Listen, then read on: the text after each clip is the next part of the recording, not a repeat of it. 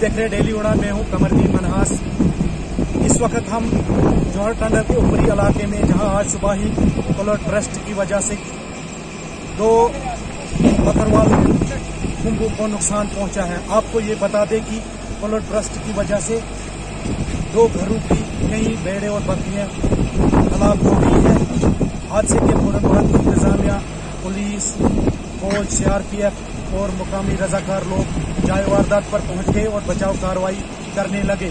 ताहम अभी भी मशीनें लगी हैं मलबा हटाने में और बताया जाता है कि एक कुंबे का जो टैंक मुकम्मल तौर तबाह हो गया है, दूसरे को जुजवी नुकसान पहुँचा है, ताहम इनकी जो कहीं भेड़ और बकरियाँ हलाक हो गई हैं और कहीं जख्मी हो गई हैं। पेश है मुकम्मल रिपोर्ट।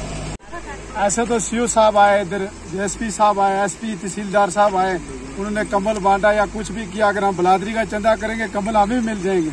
मसला ये है जी इनका जो माल का वो अभी कोई रिपोर्ट नहीं की कोई बात नहीं माल सारा इसके नीचे आया। देखो जी आप खुद इसका नाप लो एक डेरा भी इसमें डैमेज हुआ है उसमें उसके बर्तन भी थे उसका जो बोरी बिस्तरा था उसमें बोलते नगद पचास हज़ार रुपया भी मैंने सुना है एक माई बोल रही है पता नहीं वो कहाँ हाँ। गई तो वो भी उसमें बोला चले गया वो भी नहीं मिला। तो सबसे बड़ी बात यह सर इनकी खेती बाड़ी हम लोगों की यही है। तो हमारी गवर्नमेंट से ये गुजारिश है कि जो माल का मुआवजा है, वो करके गरीबों को दिया जाए। आप सभी हमारी यही दरखास्त है कि आप हमारी बात को आगे तक पहुँचाएँ। हम के साथ ताल्लुकात रखने वाले हैं। और जो ये फ्लड रात को हुआ, ये चार बजे हुआ। तो तकरीबन बच्चों शच्चों का बचाव हो गया। बाकी सत्तर अस्सी लाख इसमें जो वो पानी में बह गया कुछ इस मलबे के नीचे आ गए थे। तो हमारी गवर्नर साहब आगे यही अपील है कि हमारा, हमारे साथ कुछ तो कुछ मदद की जाए।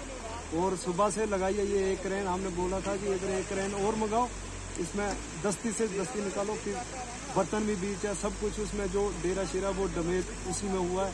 बाकी जो माल आया है, वो भी अभी तक कुछ मलबा भी नहीं उठाए उससे एक मशीन लगाई है उससे कुछ मलबा आर्मी वाले भी आए गए थे, डीएसपी साहब आया था एस एच ओ साहब आया था चौकी अफसर साहब भी आए थे सभी आए थे सी वाले डिपार्टमेंट वाले भी आए थे।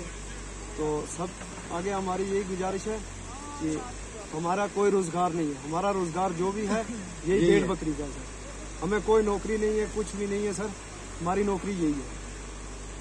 तो सर ये गवर्नमेंट आगे हमारी अपील है कि हमारा जल्द से जल्द कुछ मसला हल किया रिलीफ मटीरियल जिसमें डिस्ट्रिक्ट एडमिनिस्ट्रेशन की तरफ़ से इनको ब्लैंकेट दिए गए हैं टेंट्स दिए गए हैं और जो भी है राशन, तेल और दाल वगैरह जो भी इनके डेली यूज़ का है, वो इनको इमीडिएटली दिया है। इसके अलावा आर्मी जो लोकल यूनिट है, बारह आर आर, उनकी तरफ़ से भी हमें काफ़ी सपोर्ट मिली। उन्होंने भी राशन, दूध मेडिसन वगैरह इनको प्रोवाइड किए हैं। और भी जो भी मदद होगी लोकल यूनिट उन्होंने अरेंजमेंट किया कि इनको हम टेम्परेरी अपने शेड में सीआरपीएफ का शेड है, वहाँ शिफ्ट कर रहे हैं। तो सीआरपीएफ का रोल भी रहा है इसमें रेस्क्यू में। तो जो भी मदद होगी, इस वक्त हम कुक, खाना इनको सुबह और शाम का और दिन का दे रहे हैं। तो जो भी हेल्प होगी तो हम इनको प्रोवाइड करेंगे हमारा पूरा जो स्टाफ है हमला वो इस वक्त मौके पर मौजूद है। जी आज सुबह तकरीबन चार बजे के करीब यहाँ लोकल से खबर आई पुलिस स्टेशन बनिहाल को कि यहाँ पे क्लोड ब्रस्ट हुआ है और कुछ नुकसान भी हुआ है। जैसे ही हमें खबर मिली S T P O Banihal S H O Banihal तहसील एडमिनिस्ट्रेशन और डीसी साहब की सुपरविजन में एसएसपी मैडम की सुपरविजन में पूरी टीम ने इमीडिएटली रश किया स्पॉट पे। और ये जेटी नाला है, यहाँ पे कुछ नोमैड लोग अपना टेम्परेरी उन्होंने अपने टेंट्स लगाए हुए थे और ये जो फैमिली इफ़ेक्ट हुई, ये कठुआ की फैमिली है। तो हम मौके पर आए और वहाँ पे हमने असेस किया। हमारे पास हमारे साथ वॉल्टियर्स भी जो है, वो भी स्पॉट पे पहुँचे और इमीडिएटली हमने रेस्क्यू स्टार्ट किया ऑपरेशन तो इसमें सबसे बड़ी बात है कि कोई ह्यूमन लॉस नहीं हुआ। क्योंकि जैसे ये क्लोड ब्रस्ट हुआ था तो इमीडिएटली फैमिली ने अपने आप को सेफ़ साइड पे ले लिया और जैसे हमें इनिशियल रिपोर्ट मिली है, इसमें तकरीबन जो लाइफ स्टॉक है, जो फैमिली का, वो इसमें नुकसान हुआ है। तकरीबन 80 के करीब गोट्स और शीप बताई जा रही हैं और इसी तरीके से 15 के करीब बताई जा रही है जो ज़ख्मी है।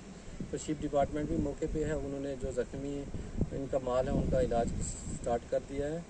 तो हमारी टीम स्पॉट पे, आप जैसा देख रहे मेरे पीछे हमें जेसीबी स्पॉट पे लगी और वो डेब्रिज क्लियर कर रही ताकि हमें फाइनल असेसमेंट मिले कि उनका कितना लाइफ स्टॉक जो ख़त्म हुआ है। फ़िलहाल एक फैमिली इफ़ेक्ट हुई है और जो माल बताया जा रहा है, वो तीन चार फैमिली का बताया जा रहा है कि इनका इकट्ठा एक स्पॉट पर रहता है।